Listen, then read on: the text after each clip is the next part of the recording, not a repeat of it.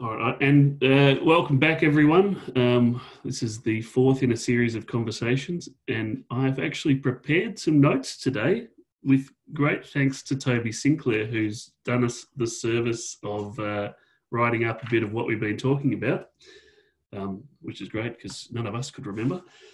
Uh, so, yeah, the three conversations before today, some of the topics that we've covered have been informal versus formal networks um, so the fact that a large proportion of organisational learning occurs in the informal networks, um, these become critical sensor networks, uh, and there's a different relationship to trust in informal versus formal networks.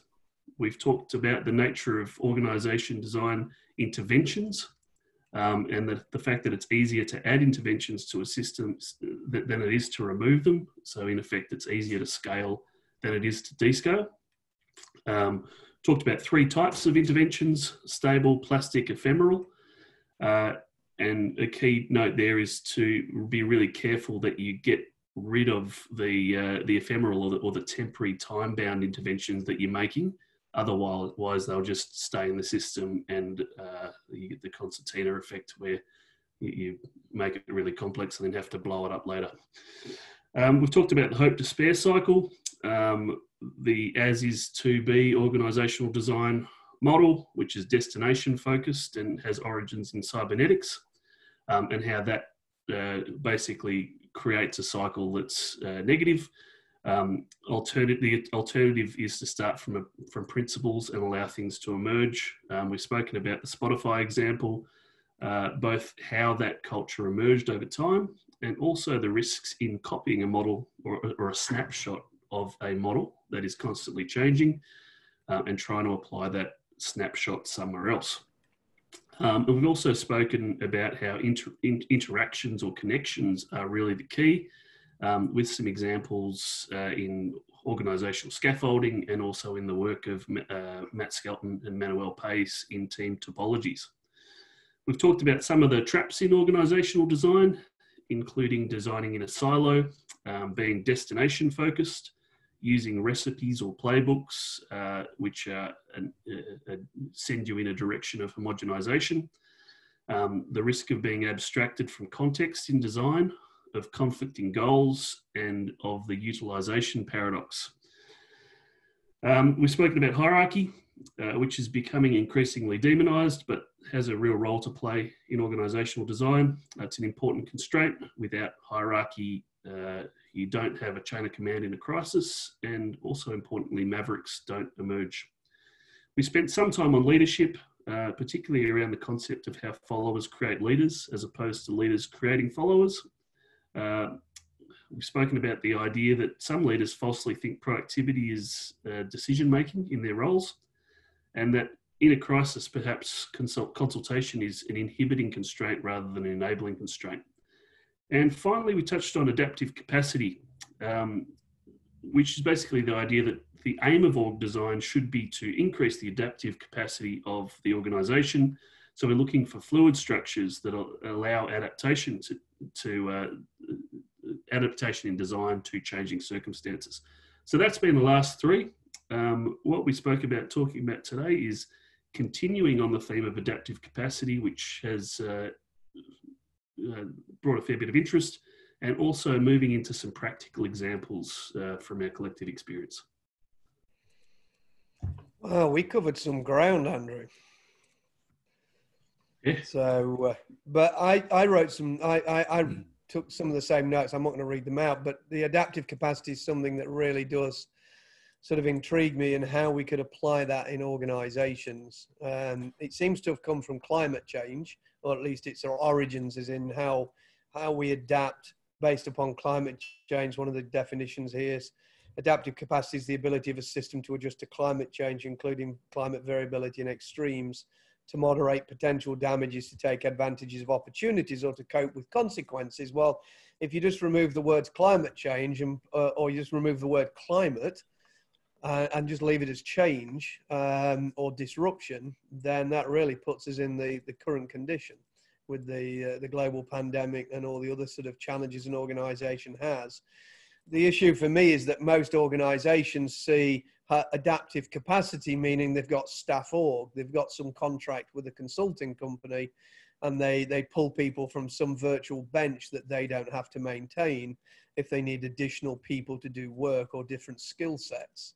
Um, and my reading of adaptive capacity, but I'm here to learn more than anything, is that we need to ensure people are in a continuous learning organization, a continuous in, continuously developing new skills and capabilities and continuing to practice their existing skills and capabilities, and that they're able to reform and adjust and pull from different parts of the organization to respond to uh, disruptions or chaos or other changes that they without having to sort of go and hire in new people and it seems that the networks within the organization, those sort of loosely connected networks, and even those sort of extended networks seem to be the way to leverage this. So that's my understanding, I think. I think it also raises the whole resilient robustness debate, and then you've got to deal with the Taleb stuff about anti fragile, which is problematic in its own right. And I think you've also then got the issue about whether you can take the biological metaphors over. Because I think if you look at the original stuff on this, it comes from Holling and Gunderson originally, the stuff. Um, in a biological system, the feedback mechanisms can cause catastrophic failure, but human beings seem to have a capacity to go through a phase shift in a catastrophe and change identity structures.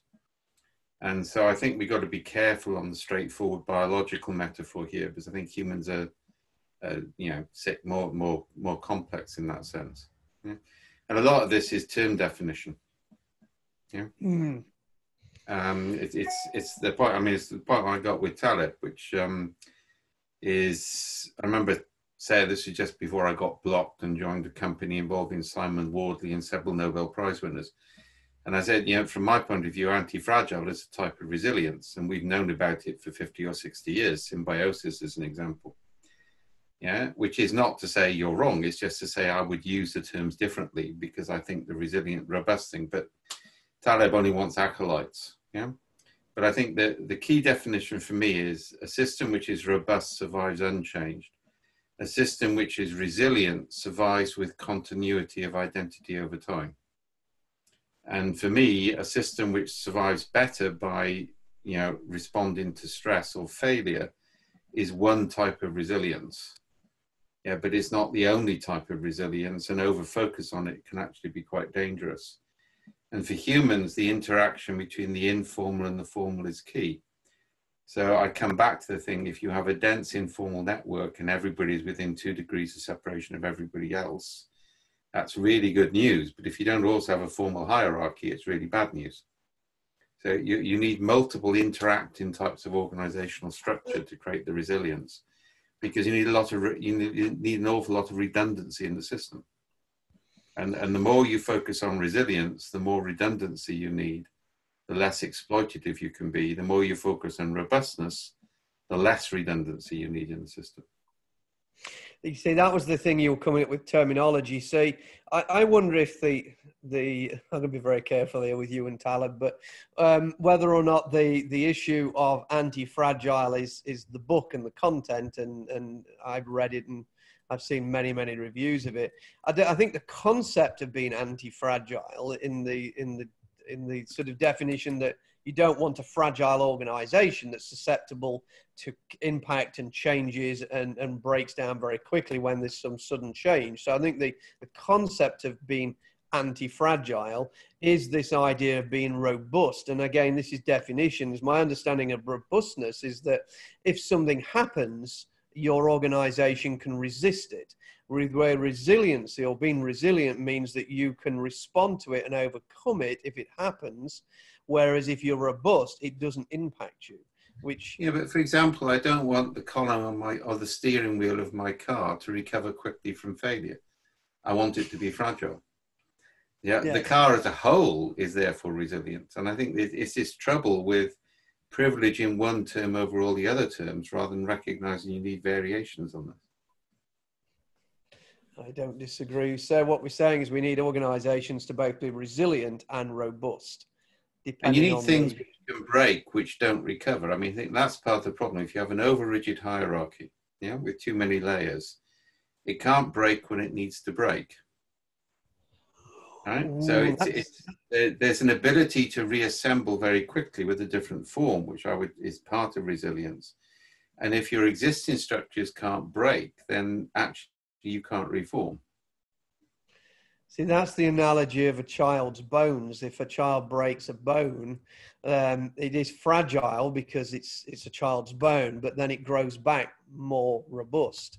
And, and actually, that's a great analogy for leadership. But then, how do we achieve that with leadership when leadership clearly fails at some point in many organizations? We see that right now.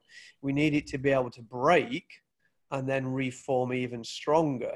The challenge is, is how do you stop those people who are different. in control? When I did the sub, when I did the subdomain models on Cynefin, one of the things we we did on the chaos space is we said if you face an unimaginable situation to which you haven't got a response, it's better to recognize it and start again. So it's not that you may want them to recover, it's also you may want a part of the system to fail completely. And if the system continues after its, after its necessary failure point, it may prevent the change coming through in time. How about the concept you see making me think because of all the challenges we've got in the US at the moment.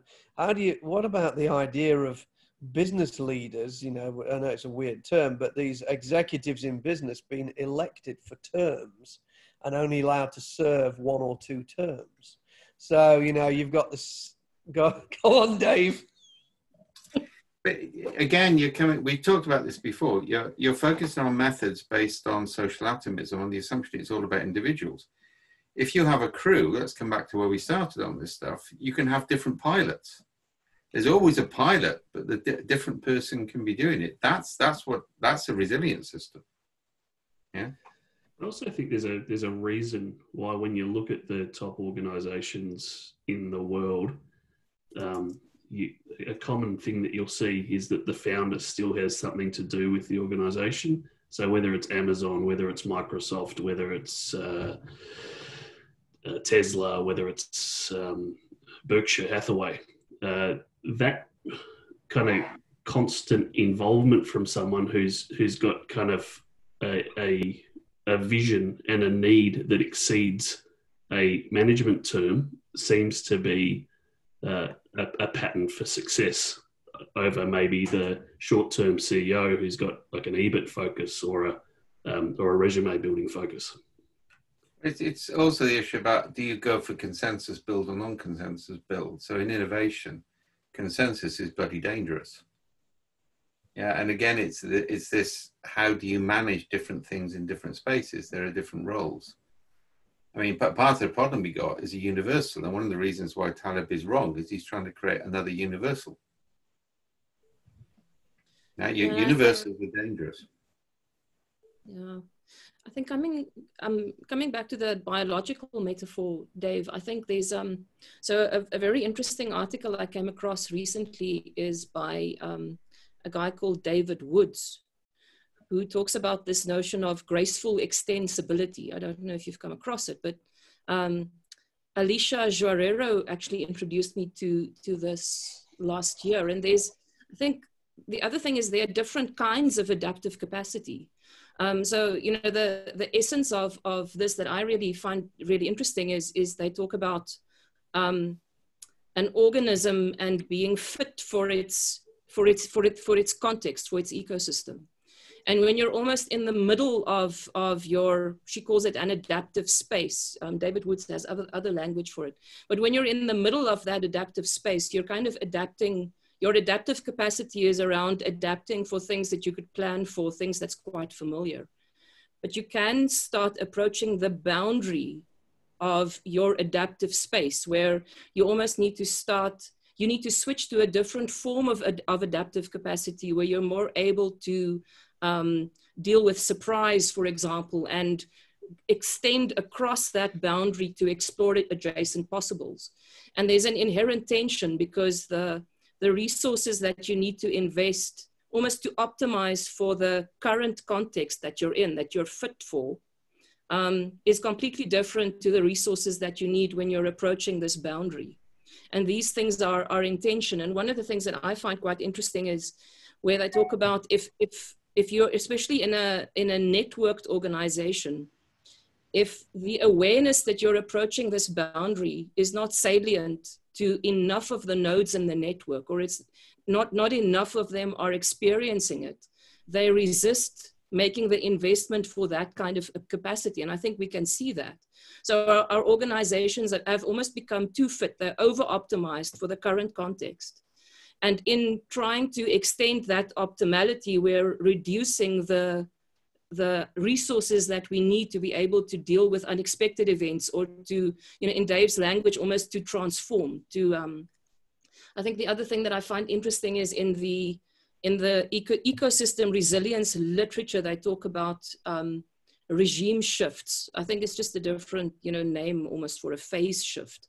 But it's this idea of um, small variables that we're not necessarily monitoring creating what looks like sudden tipping points, but actually if we knew what, to, what, what we were looking for, we could have seen it coming. Um, you know, so how do we, you know, the way that we prepare for some of these regime shifts and the way that we um, create adaptive capacity when we're kind of in the middle of a more stable ecosystem are completely different. So I, I, find that quite interesting, you know, the, the tensions that, that we need to navigate, how resources get allocated, how our drive for optimization and efficiency when things are stable undermines our ability to adapt when things suddenly change. Um, I think that that could be a really interesting area for us to explore. Just some of what listening to you, Sonja, but also listening to what Dave was saying. You know, I, I, go back to some of the the stuff I read that Kotter wrote some years ago about what he used to call a dual operating system. Because Dave's talking about crew resource management, which is this ability of the organization to sort of form and reform continuously based upon its needs and, and, and what it's got to respond to. But then we don't want to lose the hierarchy altogether because the hierarchy, with no hierarchy, as you say, in a, in a crisis in chaos, we have no leadership and we have no way of responding. The network just tends to bump into each other and get stressed. So Kotter used to talk about a dual operating system where you've got the sort of network of teams, which is your CRM sort of idea, but you've still got a, a reasonable hierarchy to stop the lunatics running the asylum because we have to pay bills, make sure people's human resource needs are taken care of and that type of thing. And, and I started to draw a picture thinking, well, you know, whether it's Kotter's model or, or something different, whether we could have this – this capacity, which is a CRM based system, which is our network of teams, and then the, on the hierarchical side where we need something, whether that could move into much more of an elective model where you don't get your narcissists who, re, who stay in power for 25 years and drive the ship how they want to drive it. You know, iceberg right ahead, pour on more coal, head towards it, um, which is what we see. Uh, and so whether or not we can move to, because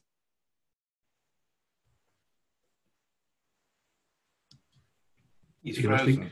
he is frozen. I think Nigel, yeah. Well, I might, uh, I might add something. So we we did some crude research with some of our customers, very crude, a little while ago, just looking at the number of value governance roles. So project management, uh, coordination, um, scheduling, kind of the roles that help uh, value flow through a matrix organization as opposed to the number of value creation roles, which are the, the roles that you kind of put together in a project or, or in a, uh, a cross functional team to, to create value. And we, we kind of came up with this silly index that we use nowadays called organizational BMI, which is basically the, um, the ratio. Um, uh, kind of with that crude research, we, we found that the, the organisations that seem to be doing things well were running at about one to five uh, or, or better. Um, so one one value governance role to about five value creating roles, and we've worked with customers that have uh, kind of almost up to one to two or one to three. So you've, you've basically got these poor people who are sitting there trying to create value, but they're spending all their days uh, filling in status reports or um, or doing timesheets or or reporting to some master that is ostensibly there to help them create value, but is actually taking them away from the very function that they're they're asked to do. Um, and I think there's been, kind of been a bit of an industry that's emerged about that. But what, what I've what I've tended to find is that as that ratio goes up, the rigidity of the organisation, the inflexibility, the inability to deliver value um, goes up as well. Uh, and coming back to what you were saying, Sonja, it's it's kind of like, uh, and something that was said in one of the earlier conversations. It's kind of like it's very easy to add that capacity because you can always say, look, I need a project manager to do the business case for the stuff that we haven't started yet, or I need to, I'm running behind, I need to bring a scheduler in. But it's really hard to pull that out of the system once it's in there. It, it just becomes a perceived need. And I suppose that's one of the reasons why I'm, I'm particularly concerned about the acquisition of disciplined agile by the PMI. Because I've always said that if you've got a vested interest in not changing, um, which the people in the project management community do, then then you're not going to change. And agile for agile to work effectively and for organisations to be adaptive, you need to strip out a fair bit of that coordination cost and that that governance cost in order to let value flow more easily. Yeah, but there, there are a whole set of things we need to look at on this. All right. So one is um, we need to look at what happened in the 80s, 90s, in that we switched from lifetime employment. So if you had people who served an apprentice model through the company, they could be trusted to make decisions because they knew people, they'd grown up in it. It's what I used to call the matron case. Yeah. So kind of like the matron picked up on all of the pieces the other systems didn't because she'd grown up in the hospital. She knew everybody, knew everything. It wasn't explicit what happened in the 80s, 90s is we started to move people onto short term employment. We started to employ them for that. We took an engineering metaphor. So it's now very difficult for an organization to delegate because you haven't built the tacit and implicit knowledge and connections for delegation to work. And that, that's part of my problem with agile people. There's no point in just delegating to people just because they're people. You know, they, they haven't got the social infrastructure or role to handle it which is why the bureaucracy creeps in, right? Um, so I think that you know that's a balancing act, and we've got to rethink that one in terms of the way we build trust into processes between diverse people rather than into individuals.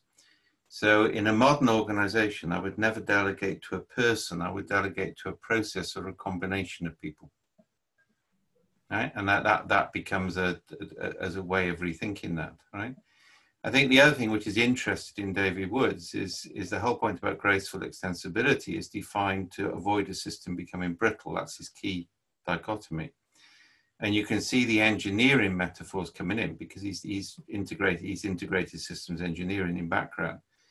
So, whole, and I actually think in human systems, and I'll come back to where I started, is sometimes systems need to be brittle um, because they need to break early. Right? So, for example, if I take my trekking poles, this is a real case from the weekend, right? Um, the really expensive bit is the carbon fiber pole. So the tips are designed so if you get twisted, the tips will break off because they're cheaper to replace. I mean, they're designed to be brittle. Yeah. And I hmm. think we need to do that in organizations. We need to design some structures which actually break automatically if they face a context they weren't designed for. Right? And I, I think we, we keep having this belief in continuity, which is actually what's dangerous. So you, you could, I'm not getting mystical here, and, and you know, Nigel's arrived back, so I, have I've got to be, you know, you handle Texan you know, the Texan attitude to religion I've now got to be sensitive about because I know he's he's likely to you know exclude me from all sorts of conversations if I don't pay attention to it. But there is this concept of rebirth, yeah, um, and it's quite interesting. You look at symbiotic species like Portuguese man of war, or or or species like slime molds, which are fascinating, which can change from animal to vegetable based on context.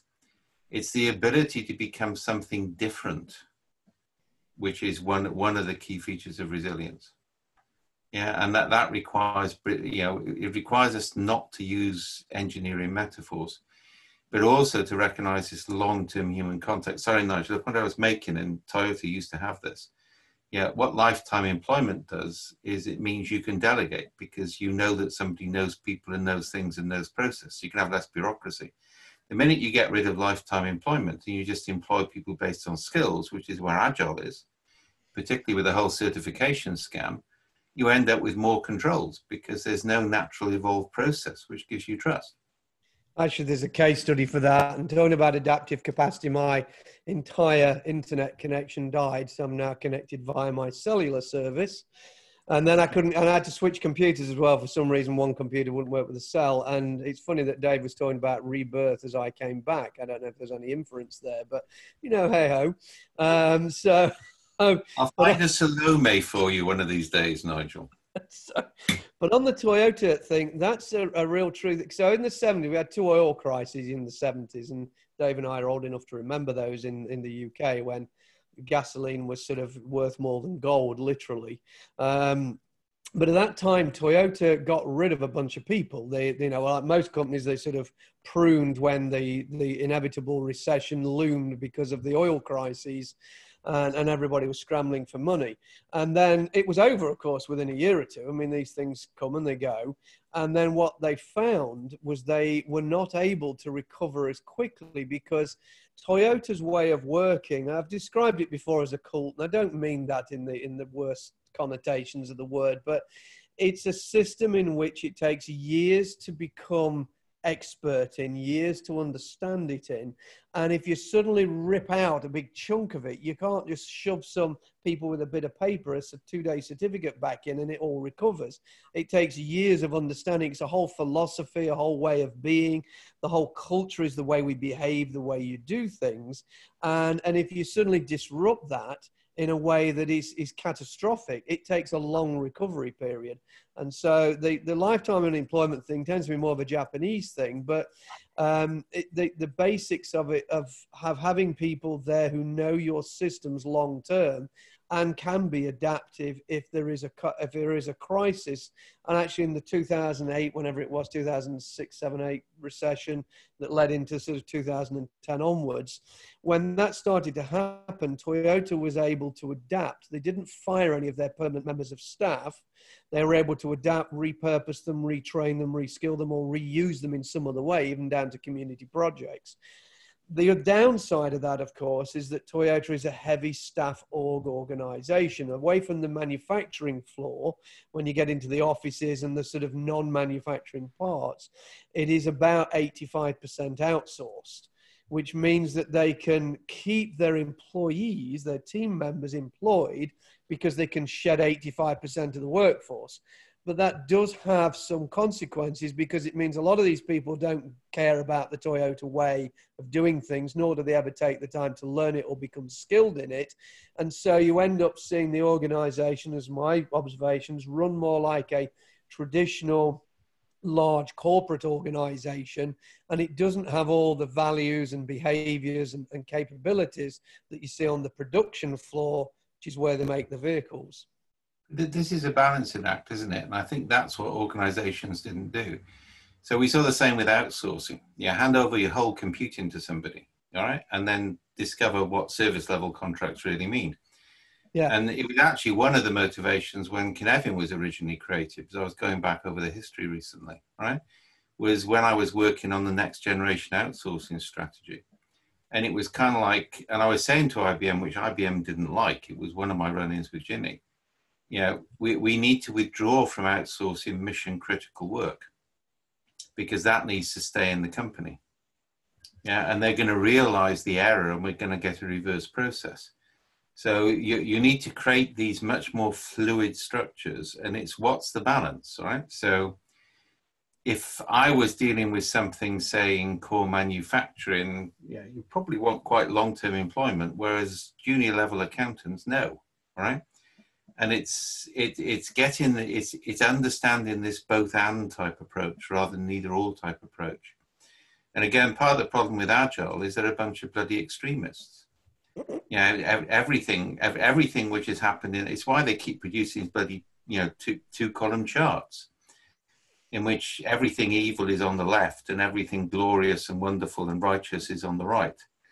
And it's, they don't realize it, they need both. Yeah. Yeah, I saw your comments on one or two of those that popped up the other day.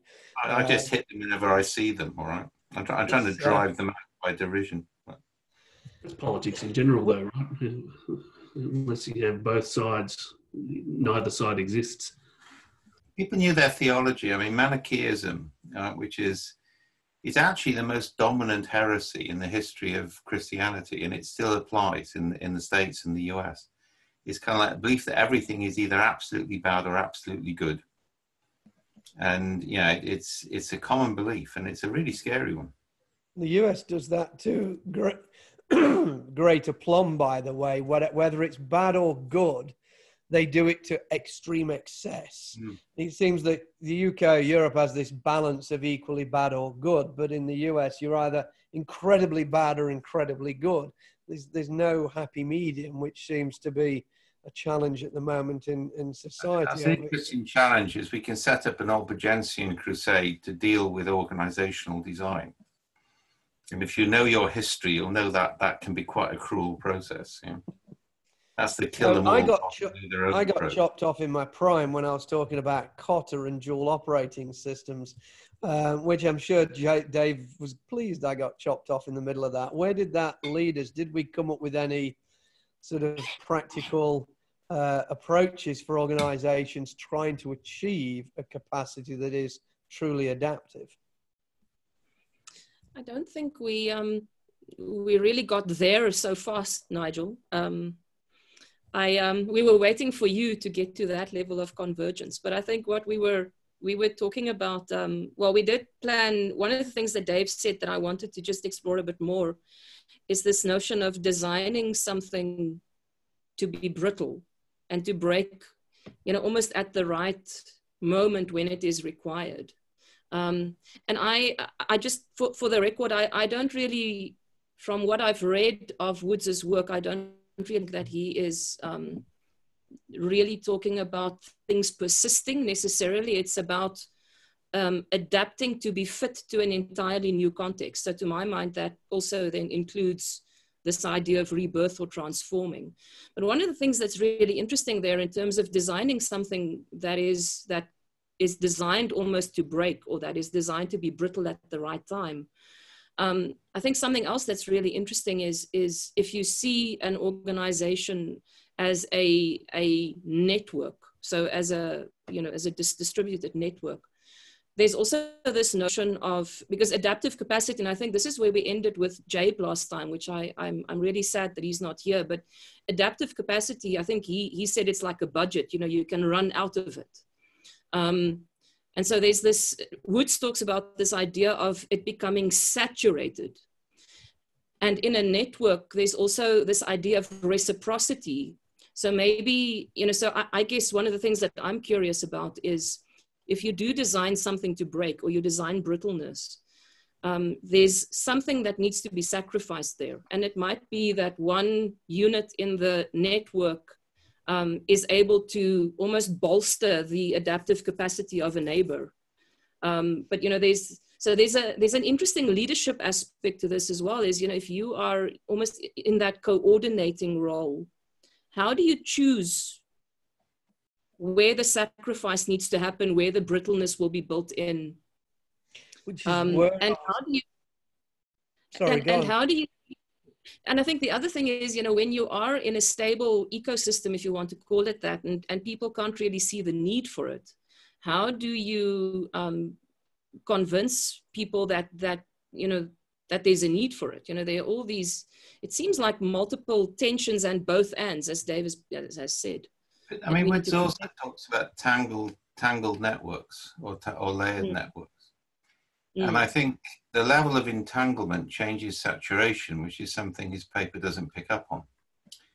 Yeah, so if you if you change the, the type of entanglement, you get a greater capacity to absorb things, right? The other thing is that I disagree with Jabe on this, but we can get on to it. I don't think there's a limited budget. I think I think it's the same issue as knowledge, right? Um, knowledge isn't a limited quantity. It's not that once you've used it up, it outflows It's just you reach a point where you have to go through a phase shift, and the phase shift concept is key. Right? And that's why I'm saying the degree of brittleness is important. So the system has to be able to go through a significant phase shift, which actually in a crisis, quite interesting, what happens in a crisis is the energy cost of change drops significantly because the context has made people prepared to do things differently. And you can see that on a micro level on day-to-day basis. You know, you get people fighting for, I mean, I'm not making a judgment call here, but you get trade unions who, when the, the factory is about to be closed down, suddenly become very cooperative on changing pension schemes, whereas previously were threatened, they were threatened to strike over them. Yeah. So human systems have this capacity to change their entanglement, which changes the saturation, if I'm using Wood's terms. Yeah and sometimes that's a, a break and reconstruction. You know? mm. now we're going through a lot of that in industry at the moment. I'm in the high street. I'm in the UK. I'm not sure about the states yet. All right, but the high street in the UK is not going to come back in terms of the big stores because, but interestingly, the small stores may survive better. Mm. Yeah, the, the small specialist ones. So we could see a resurrection of high street shopping, a destruction of out of town. Yeah. And you know, we, th- those are the sort of patterns society needs to be aware of. But an unwillingness to let go is one of the reasons things don't change fast enough. Which is where I was continue to draw my picture here, which is back to the sort of uh, idea that Kotter had floated some years ago. Um, is that if you've got this sort of crew that can be a continuous learning network where they where we got continuous investment in learning. Into one of your earlier points dave in, in another conversation we need generalists not specialists. And we seem to have shoehorned ourselves into a world of specialists where we've got mono skilled employees mono skilled team members where we need people with multiple skills and able to uh, go across a range of different sort of disciplines. So we need this sort of heavily uh, auto- well, not heavily autonomous, but this this network of teams that can constantly reform in this crew resource management way, which we have a continuous investment in learning in this learning organization is what is what Toyota call it, um, that can respond and reform adaptively depending upon what the demand is that's called upon them, and then in the hierarchy side to create that fragility, to create that that that that brittleness and that rebirth, then we've got to have some sort of elected or elective type of leadership, whereas a CEO, CEO doesn't become a CEO for decades or the and the, because what ends up happening then is you end up and I've experienced this with narcissistic power centers that will not make decisions that need to be made and will not change their direction because they're single mindedly in this sort of fixation bias on what they want to achieve. And no matter how great we make the capability in the organization, that capability can't function because the leadership constrains it or inhibits it in a way that prevents it from being adaptive. How, how are you bringing Kotter into this? Because Kotter has the famous eight stages, which are terribly linear, which involve vision, vision, communication, and execution. So it's kind of like out of 1970s strategy, and I don't know why anybody takes it seriously anymore. So you're no, obviously something I'm not seeing. So what is it? No, it was just this. It was just this concept of a dual operating system where you've got the hierarchy looking after the needs that a hierarchy is needed for. And then you've got this network of teams, which are, are what he calls an army of volunteers, which are people from the hierarchy who voluntarily put themselves into the network for this adaptive capability. Now, that's as far as I take the analogy or as far as I take the metaphor, it's just that idea that we need both, but one becomes an inhibiting constraint to the other because this never changes. The hierarchy is pretty rigid and fixed, sometimes for decades, but for many, many years. So it doesn't matter about the fluidity and the capability within the network, the hierarchy is constraining it or inhibiting it with an inhibiting constraint. And it's that bit I'm thinking of a way to get rid of. I mean, I think it's to look at what's the unit of analysis. So if the unit of analysis is the system or the organization, I think that's problematic. If on the other hand, the unit of analysis is, for example, constraints, then it becomes less problematic because you manage the constraints and that gives freedom for emergence, which is kind of like where we're going with complexity theory in organizations now. Mm.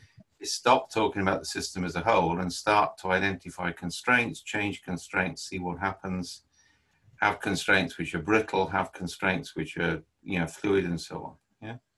And I, I think part of the problem is, and it comes back to the engineering metaphor issue, right?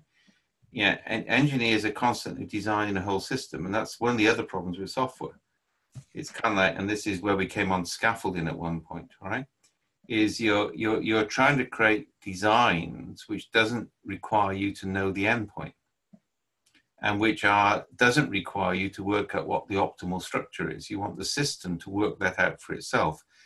And I haven't got, I mean, if I was a Taleb, I would now produce a catchphrase, a book cover, and, and produce a best selling book comprising 90% invective and 10% novelty around that concept. But it's, it's not anti fragile, it's, it's something different. I think, Nigel, you know, just tagging on to what you were saying about, you know, electing people for limited periods, you know, in, into the hierarchy. You know, I think some of just speaking from our political context some of our biggest problems comes from there. Because then people act with a very short-term view.